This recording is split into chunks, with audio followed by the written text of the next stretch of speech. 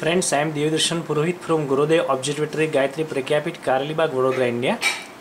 Here we are seeing Brahmdhanus, the Helios ring, the halos around the sun. This 22 degree halos around the sun has been created by the hexagonal ice particles, water particles in the clouds. Clouds are at 5 or 10 kilometers up from the surface of the earth. Sunlight has been reflected or reflected with help of this hexagonal sun particles and create this beautiful halo. मित्रों, मैं दिव्य दर्शन पुरोहित गुरुदेव observatory Vadodara India से बोल रहा हूँ।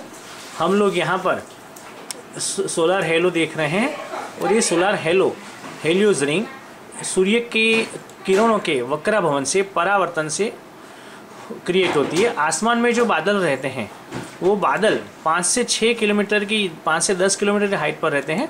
उसके अंदर जो water particles ice particles रहते हैं, उसके चलते ये ब्यूटीफुल हेलोस क्रिएट होता है।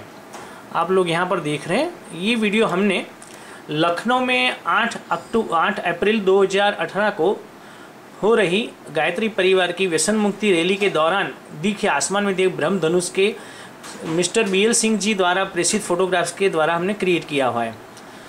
This halos was in the sky of Lucknow Uttar Pradesh India during the de addiction rally of Gayatri Parivar A video has been created with help of the images sent by Mr. B. L. Singh, retired military officer, member of Gayatri Parivar.